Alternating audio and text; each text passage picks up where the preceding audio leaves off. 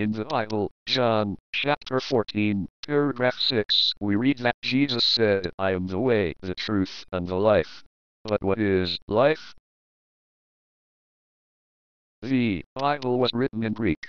The Greek word for life is zoe. It consists of three letters. The first letter is the zeta letter.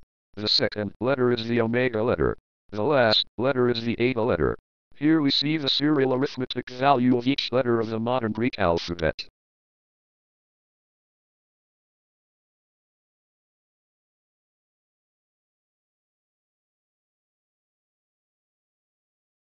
Zeta is equal to 6, and the carbon atom has 6 protons.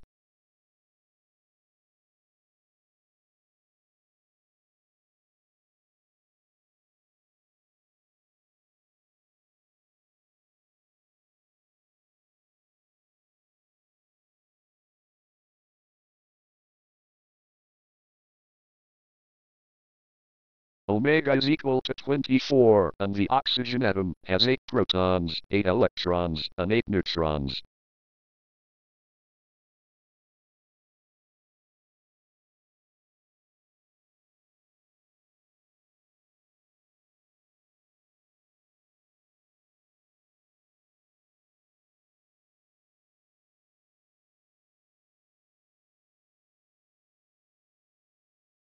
Finally eta is equal to 7 and nitrogen consists of 7 protons.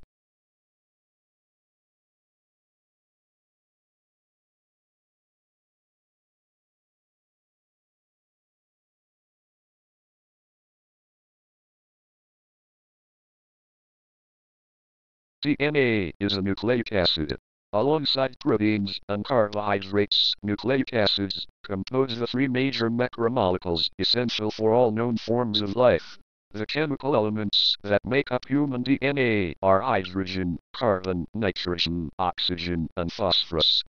Hydrogen has an atomic number of 1. Carbon has an atomic number of 6. Nitrogen has an atomic number of 7. Oxygen has an atomic number of 8. Finally, phosphorus has an atomic number of 15.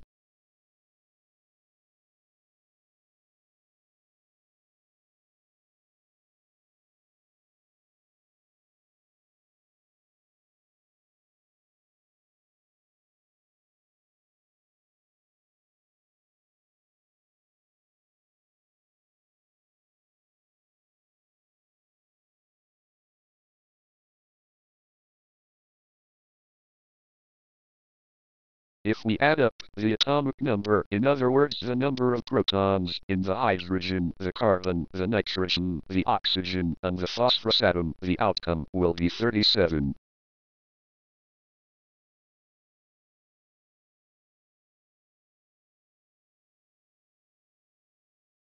But, if we add up the serial arithmetic value of the three Greek letters that form the word Zoe, in other words life, the outcome is 37. 6 plus 24 plus 7 equals 37.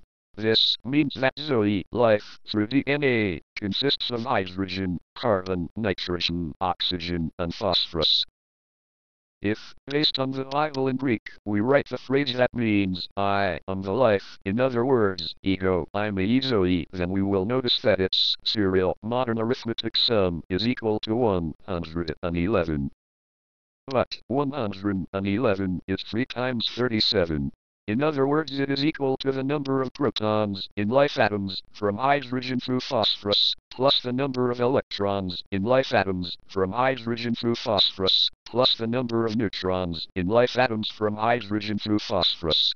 The most common isotope of hydrogen has 0 neutrons, but the most common isotope of phosphorus has 16 neutrons. This way, the total number of neutrons is once again 37.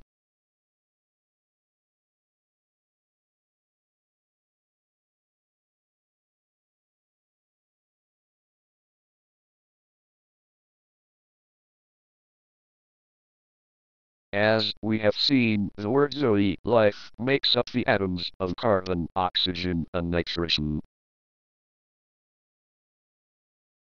The CNO cycle for carbon, nitrogen, oxygen is one of the two known sets of fusion reactions by which stars convert hydrogen to helium, the other being the proton-proton chain reaction. Unlike the latter, the CNO cycle is a catalytic cycle. Theoretical models suggest that the CNO cycle is the dominant source of energy in stars having a mass of 1.3 times that of the Sun.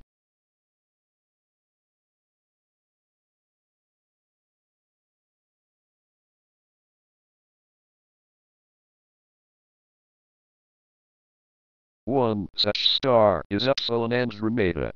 Its mass according to Wikipedia is 1.27 plus or minus 0.06 times that of the Sun. The Epsilon Andromeda A star system consists of four planets. Saffar, Samh, Majriti, and Andromeda A, E,